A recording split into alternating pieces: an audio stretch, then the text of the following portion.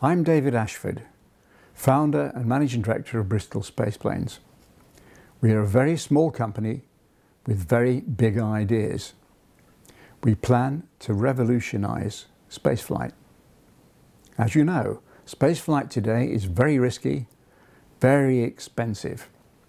We plan to reduce the cost of sending people to space by a factor of 1,000 within 15 years. Now that really is revolution. It would lead to a new golden age of science and exploration. Visits to space hotels by the general public would become widely affordable. And that could include many of you. The most extraordinary thing is that our designs are based on those considered feasible in the 1960s and which I worked on as part of my first job with Hawker Siddeley Aviation. Technical risk is low and development costs are modest. Before you include, before you conclude this is all extremely far-fetched and switch off, I'd like to point out that we've had endorsements at the highest level. Lord Drayson when he was Minister for Science and Innovation in the previous government, wrote in 2009 The work of Bristol Spaceplanes could revolutionise the future of space and maintain the UK's position at the forefront of space technology. We recently carried out a feasibility study that was part funded by the Technology Strategy Board. We asked 14 UK aerospace companies to comment on the final report. 11 of these 14 replied, and they all broadly endorsed our strategy. Now, I am the first to admit that even with these endorsements, it still seems far too good to be true. In a nutshell, the reason why it is true is that the solution to the problem of the high cost of access to space was worked out in the 1960s, but has never been implemented, largely because of the politics of the NASA budget and what would have been a difficult project to develop then would now be straightforward.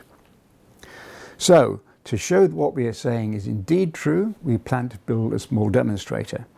The next step is completing the design, and it is to do that that we're looking for an investment of £150,000. Much of the background to the revolution in spaceflight is described in my recent book, Space Exploration, All That Matters, published by Hodder earlier this year. I'll now say a bit more about the history of spaceflight and then talk about our plans and then our business case. All satellites and people so far have been sent to space on top of throwaway launchers like ballistic missiles. Very expensive, very risky. In the 1960s, there were plans to add wings, tail, cockpit, landing gear so that the launcher could be flown back refueled and fly again like an aeroplane. We were going to build aeroplanes that could fly to space, so-called space planes. We were going to transform spaceflight.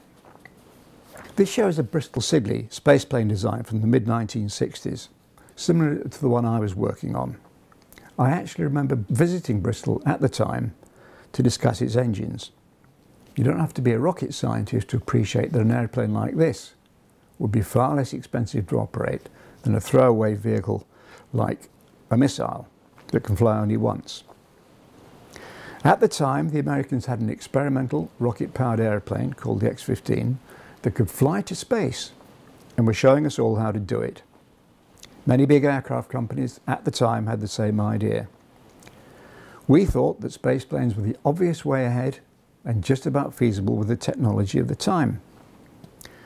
The amazing thing is that this has never happened fully reusable launchers have never been built. The big mistake made by NASA was to build the shuttle as not fully reusable, even though the early designs were indeed true spaceplanes. Here you can see that the only bit that flies back is the orbiter, which carries the crew. This decision has held up low-cost access to space by 30 years and counting.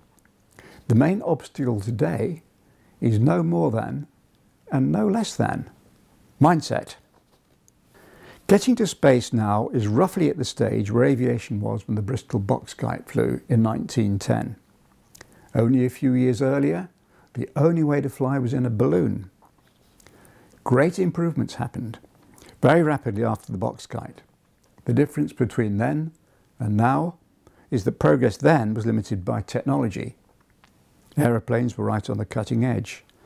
And now it is limited by mindset, by the fact that the 1960s designs have been largely forgotten or overlooked. US private investors have so far spent more than 2 billion on quotes new space projects, but on very different approaches to design. Established major players are locked into the NASA mindset and are showing very little interest in spaceplanes. Only we, Bristol Spaceplanes, are following the 1960s design consensus, which is still by far the most competitive. Our business case is very good precisely because it seems too good to be true. All that we have to do is to dent the mindset and show that we do indeed have the most competitive way ahead for, the low, for a low-cost entry into multi-billion pound markets. When we've done that, the company will be worth a lot of money. We are therefore looking for £150,000 in return for 5% of the equity to complete the design of a demonstrator. This is called Microsonic, and it's a sort of home-built space plane. This design work will greatly add to our intellectual property, which at present is mostly know-how.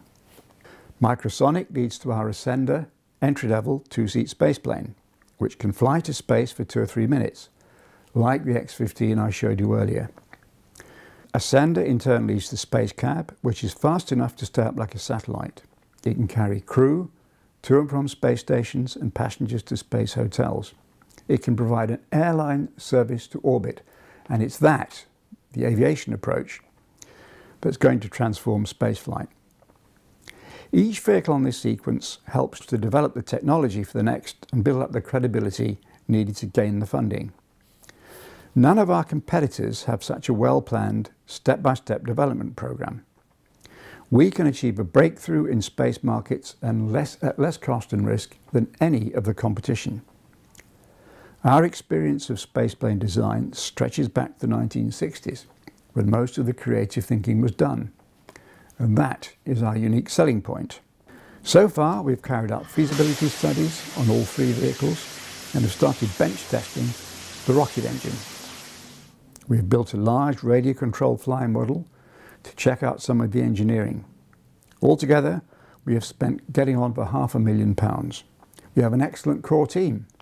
Here is David Kent, our chief designer, one of the world's best light aeroplane designers.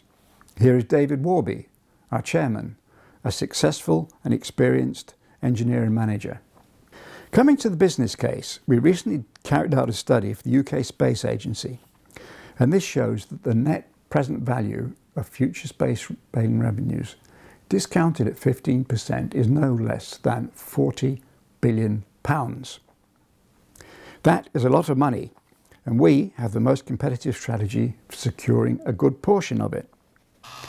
Now, you might well be asking how a sum of £150,000, a lot to you and me, but small beer in the context of space, could secure a significant share of such a large market. The answer is that we plan to move ahead in stages, each, each with its own tranche of funding, each adding greatly to our credibility and to the value of the company. When the penny drops and a critical mass of people come to believe that we do have the best strategy, the value of the company will be more than enough to ensure that early investors make a very good return. The most likely exit is a partnership agreement with a major player. You can find further details in our business plan. Finally, early investors will be offered a discount equal to five times their investment on their first flight to space in one of our space planes. Fares will start at about £100,000 and come down to just a few thousand pounds with maturing technology and economies of scale. So a modest investment now could ensure your flight to space. Now, getting your flight obviously depends on our space planes actually being built. The main risk is simply the failure to gain the investment for development before the competition catches up. The most likely cause of that happening would be investors failing to be convinced soon enough by what we're saying.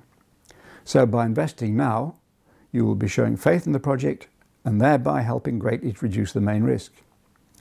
You will also be helping to achieve low-cost access to space, which will be of great public benefit and of great historical importance.